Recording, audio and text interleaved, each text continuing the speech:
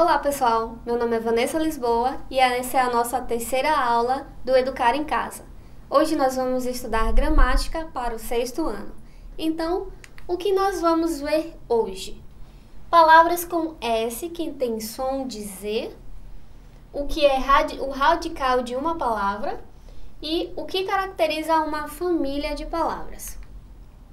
Observe a situação a seguir. A mãe desse garotinho escreveu um bilhete para ele.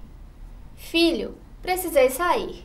Lembre-se de tomar dose de remédio que está no alto do armário. Assinado mãe. Agora, é 12 ou dose? Dose ou 12?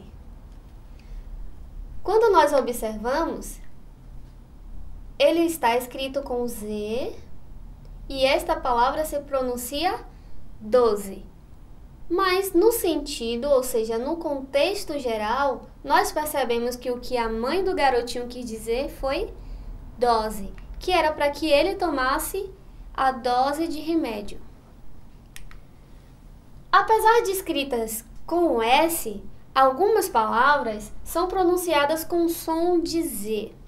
Observe os modelos a seguir. Primeiro, os substantivos relacionados a verbos: decidir, decisão, defender, defesa, empreender, empresa, despender e despesa. Todas essas palavras, o S tem som de Z.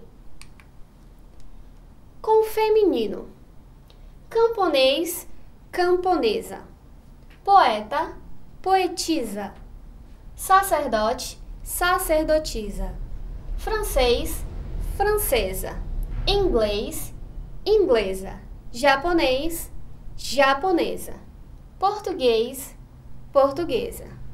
Conseguem observar que, apesar de estar, estarem escritas com S, elas possuem som de Z. Em alguns nomes próprios e em diminutivos cujo radical termina em S, também observamos esses casos. Por exemplo, Rosa, Rosinha, Teresa, Terezinha, Laís, Laizinha e Tomás, Tomazinho. Mas o que é radical? Radical é o elemento que serve de base às palavras de uma mesma família. Vejamos os exemplos a seguir. Crescer e vender. Crescer. Essas são as palavras derivadas do mesmo radical. Cresço, crescido, crescente, decrescente, acrescentar, crescimento e acréscimo. O radical é a partícula da palavra que não altera.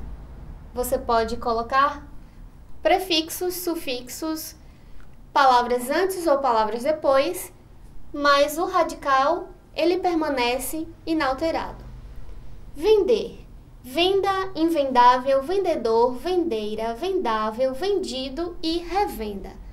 Observem que o radical, aquela parte que está em negrito, também não altera. Encontre duas palavras derivadas de nascer descer e crescer. Esses são alguns exemplos: nascimento, nascente e nascido, descida, descido e descendente, crescimento, crescido e decrescer. Família de palavras são as palavras que possuem o mesmo radical, ou seja, palavras derivadas.